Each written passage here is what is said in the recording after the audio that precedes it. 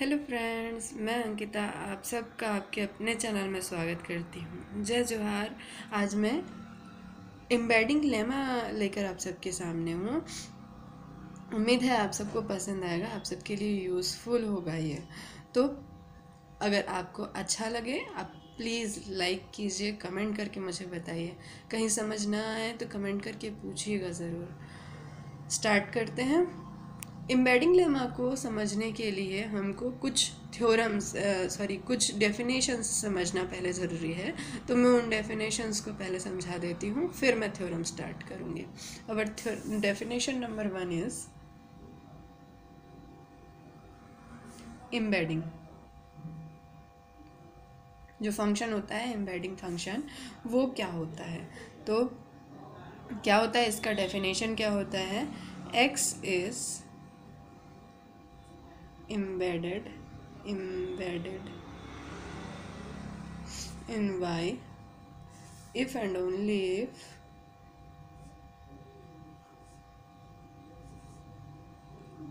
f is homomorphism between homomorphism between between x and x and some space some subspace of y that is embedding function अगर f लेते हैं तो f such that x tends to c होगा, जहाँ पे where where C is subset of Y और इसमें कौन से प्रॉपर्टीज़ यूज़ होंगे? तो इस एफ़ को हमको एफ़ को हमको क्या? होम्योमॉर्फिज्म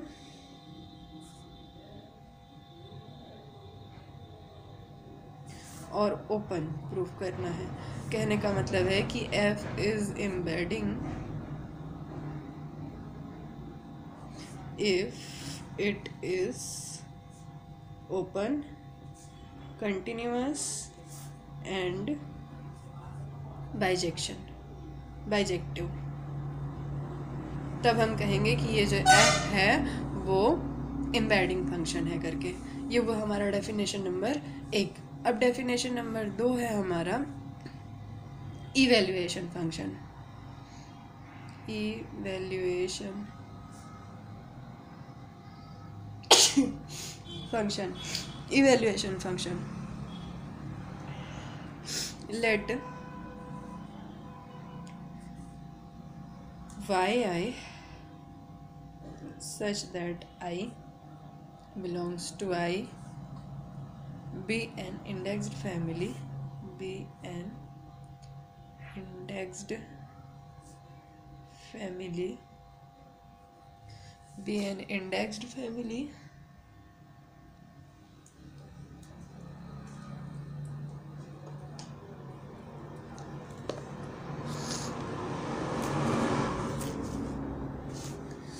be an indexed family of sets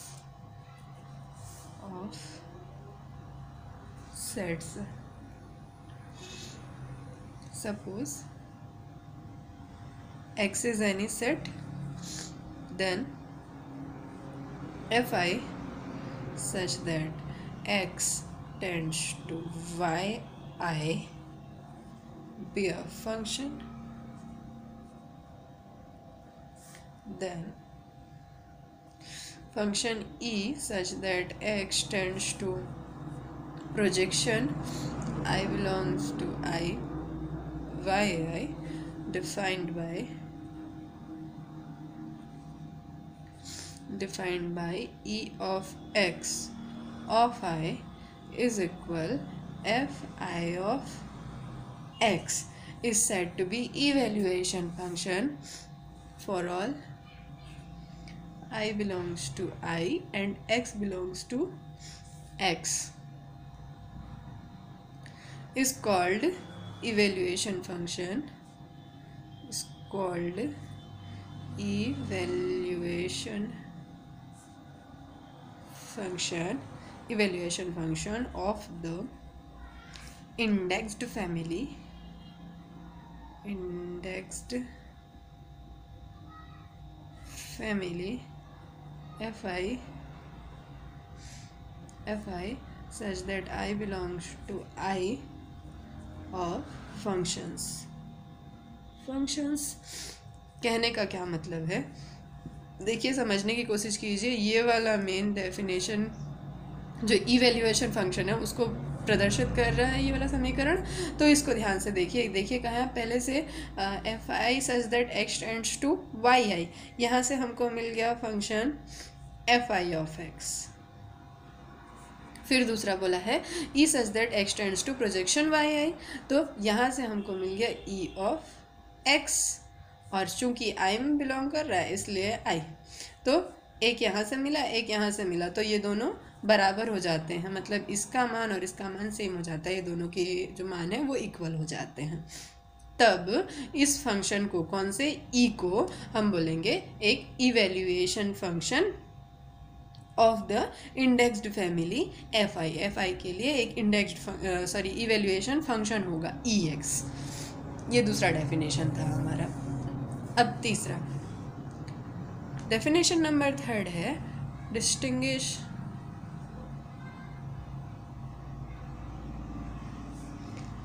points from closed sets. Closed sets. इसका डेफिनेशन क्या होगा? An indexed family an indexed family of function F I हमने इंडेक्स फैमिली को एफ़ आई लिया है। F I such that I belongs to I where function क्या बनाया था हमने? F I such that X tends to Y Y I तो यहाँ पे एक्स और वाई आई जो है वो क्या है? टोपोलॉजिकल स्पेसेस हैं। Is said to is said to distinguish points from closed sets closed sets in X if for any x belongs to X for any x belongs to x and any closed set closed subset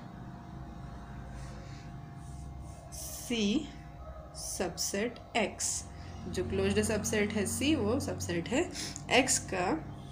not contain X मतलब कि X is not element of C. X not belongs to C. ये condition होना चाहिए। There exist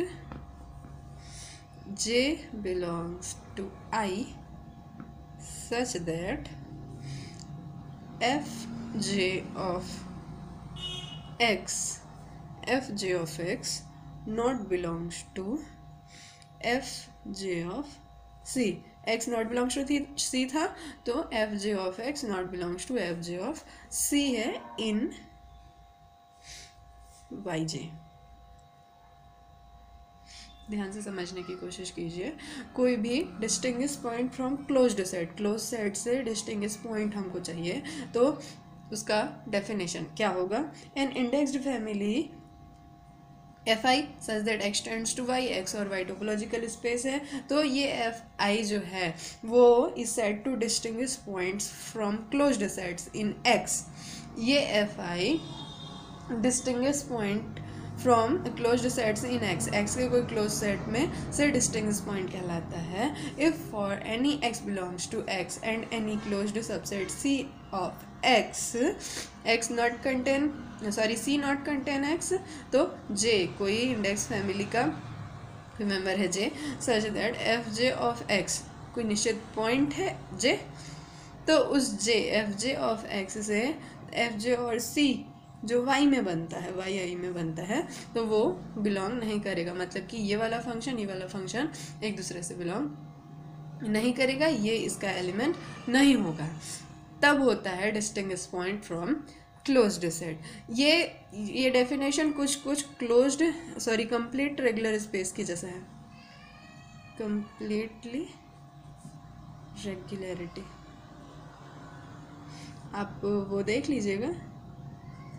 मैं दे दूँगी यहाँ पे link अब देख लीजिएगा. इसके जैसा है थोड़ा थोड़ा क्योंकि उसमें भी एक वो, एक पॉइंट और एक क्लोज सेट लिया गया था और जो नाइट एक दूसरे को कंटेन नहीं कर रहे थे। तो वहाँ से लगभग वैसा ही है ये। तो ये हुआ हमारा इम्पोर्टेंट डेफिनेशन अब हम स्टार्ट करते हैं हमारा मेन एम जो है embedding lemma embedding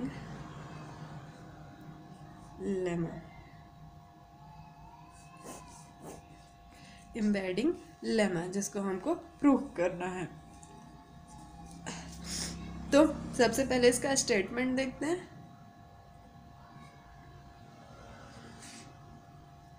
बढ़िया, छोटा सा स्टेटमेंट है। लेमा है तो थोड़ा सा प्रूव इसका लंबा होगा ही होगा। बट मैं कोशिश करूँगी कि जितना ज़्यादा से ज़्यादा हो सके आप लोग के लिए इजी कर सकूँ इस चीज़ को। तो इसका स्टेटमेंट क्या है basically let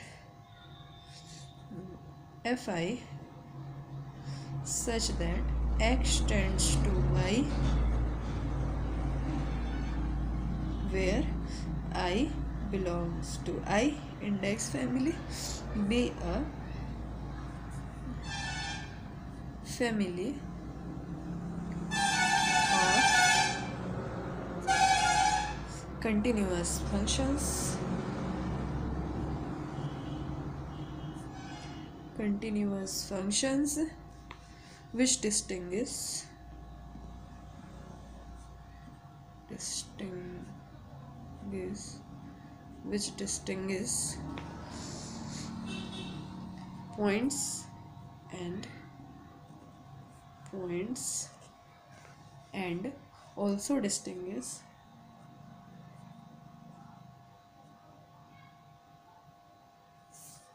points from closed set from closed sets then the then the corresponding evaluation map corresponding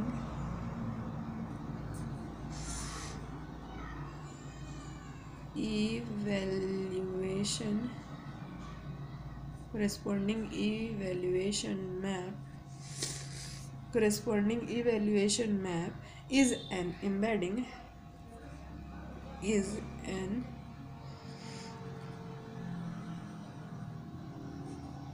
embedding is an embedding of x into the into the projection space product space product space I belongs to I by I इसको, simply देखिए क्या बोला है?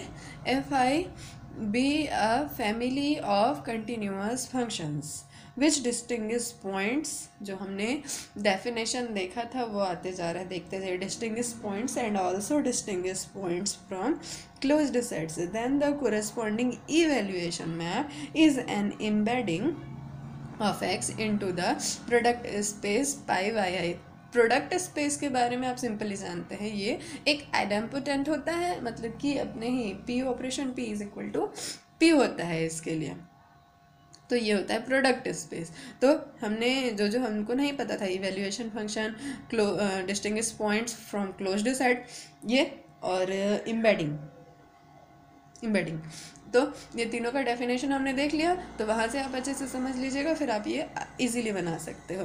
तो ये वाला last जो map embedding उसको प्रूव करना है ना, वो बनेगा E such that X tends to projection I belongs to I Y I तब इस ई को हमको इम्बेडिंग है। एक्स से वाई आई में प्रोजेक्शन वाई आई में, ये सिद्ध करना है। तो स्टार्ट करते हैं। हमने कीवर्ड्स अलग कर लिए। अब थ्योरम स्टार्ट करते हैं। इसका प्रूफ लेमा का प्रूफ स्टार्ट करते हैं। लेमा का प्रूफ कैसे बनेगा? तो लेट वही मैंने फ़ंक्शन जो बताया। E such that X to projection Y I where I belongs to i be the evaluation function be the evaluation function be the evaluation function to so that so that it is यानी कि e जो है वो एक embedding है ये proof करने के लिए हमको क्या प्रूफ करना पड़ेगा पहली चीज़ तो प्रूफ करनी पड़ेगी e इज़ कंटिन्यूस दूसरी बात प्रूफ करनी पड़ेगी A is one to one one to one और तीसरी चीज़ प्रूफ करनी पड़ेगी ये तो हो गया homomorphism one one one to यानी कि ये बाइजेक्शन भी लिख सकते हैं इसको bijection one one one to और कंटिन्यूस ये हो गया होमोमॉर्फिज्म की कंडीशन और एक है ई इज़ ओपन ये तीनों चीज़ें प्रूव करनी है। कहने का मतलब ये है कि इस थ्योरम को हमको तीन स्टेप्स में फॉलो करना है। तीन स्टेप्स में प्रूफ करना है। अगर ये तीनों प्रूफ हो गया तो जो ई e है, वो एक इम्बेडिंग हो जाएगा। तो स्टेप वन लेते हैं। स्टेप वन में यही प्रूफ करेंगे कि E is continuous map to show that E is sorry E is a continuous map. ये हमको दिखाना है ई इज़ कंटिन्यूस मैप ये प्रूफ करना है तो देखते हैं कैसे प्रूफ कर सकते हैं इसको। सबसे पहले तो हम जो जो फ़ंक्शंस डिफाइन कर रहे हैं उनको बता देते हैं कि ये ये फ़ंक्शंस हमने लिया हुआ है करके। तो पहला फ़ंक्शन हम ले रहे हैं map F I such that X tends to Y I और दूसरा ले रहे हैं E such that X tends to projection Y I where I belongs to I तब एक प्रोजेक्शन मैप हमको मिलेगा pi I such that pi Y I tends to Y I इसको, इस मैपिंग्स को हम अगर डायग्राम के थ्रू समझना चाहें तो कैसे होगा? दो हमको लिया हमने एक्स और वाई दो दो टोपोलॉजिकल स्पेसेस लिए हैं। तब हम हमारा जो एफ़ आई है वो कहाँ से एक्स से वाई आई में जा रहा है? एक्स से वाई आई कोई डेफिनेट ये होगा वाई आई कोई भाग होगा वाई का तो वहाँ पे जा रहा है ये है एफ़ आई दूसरा है ई e, वो जा रहा है एक्स से वाई आई के प्रोजेक्शन में। मतलब यहाँ से अगर इसको भेजा यहाँ ये ई e है तो ये प्रोजेक्शन वाई आई में जाएगा। और दूसरा है पाई आई तो वो वाई आई से वाई में ही जा रहा है। तो अपने से अपने में ही जा रहा है। अपने से अपने में ही जा रहा है, ये है पाई आई तो ये तीनों आप लोग समझ लीजिए अच्छे से, फिर आगे अपन सॉल्व करते हैं। अब suppose F I is continuous is continuous map let G subset Y I G हमने लिया यहाँ पे वाई आई पे। कोई जी लिया इज़ ओपन इसको जी को ओपन लिया है और चूँकि एफ़ जो है वो एक कंटिन्यूमस मैप है, और ये जो प्रोजेक्शन मैप है वो भी कंटिन्यूस होता है, इसलिए pi I inverse G is open ये वाई आई में था तो ये किसमें हो जाएगा? Is open in the product space pi X I projection space ये आई बिलोंग्स टू आई यहाँ पे एक्स आई को यहाँ पे कहीं पे दिया है एक्स आई इसका कोई भाग ऐसा ले सकते हैं हम? तो यहाँ पे कोई पाई आई इनवर्स जी। देखो, पाई जो है इसी में से इसी में जा रहा है तो पाई फ़ंक्शन यहीं पे बनेगा। लेकिन अगर उसका इन्वर्स हम इधर बना देते हैं तो वो एक्स आई में आएगा। तो यहाँ पे ये पाई आई इन्वर्स जी जो है, वो एक्स आई में बना और ये जी वाई आई में ओपन था, इसलिए उसका इन्वर्स फ़ंक्शन जो है वो एक्स में, एक्स आई में ओपन हो जाएगा। Observe that E I sorry E inverse और pi I inverse G is equal to अब इसको हमने सॉल्व किया, क्या किया दोनों इसको एक जैसा लिख दिया ई इनवर्स पाई आई इनवर्स और जी को एक जगह लिखा। फिर क्या किया? इस दोनों के जो इन्वर्स हैं उसको ऊपर ले गए। पाई आई ई पूरे का inverse of G is equal to अब इसका इक्वल हमने बताया था एफ़ आई है तो एफ़ आई इनवर्स जी ये आया for for pi I belongs to E is equal F I G is open in Yi and Fi such that X tends to Yi. Yi is continuous is continuous implies fi inverse g is open in x f जो है वो continuous map है और जी जो है open है Y आई में तो एफ़ आई इनवर्स जी वो ओपन हो जाएगा एक्स में। यहाँ पे से हाथ देख लो। जी वाई आई में ओपन है। अब इसका इन्वर्स इमेज एक्स पे बनेगा? तो जो एफ़ इनवर्स जी बनेगा, वो एक्स में ओपन हो जाएगा। Implies E inverse pi I inverse G is open in X. इसको हमने लेके चले थे कि ये जो है एक्स में ओपन है करके। प्रोजेक्शन जो एक्स आई है, उसमें ओपन है करके। तो इसका जो ई e बनेगा, वो वाई पे बनेगा? तो ई e इन्वर्स जो बनेगा, वो वापस एक्स पे बनेगा। तो इसको, जी को हमने ओपन लेके चले और इसको ई e इन्वर्स के लिए हम ओपन प्रूफ कर दिए कि इसमें एक्स में।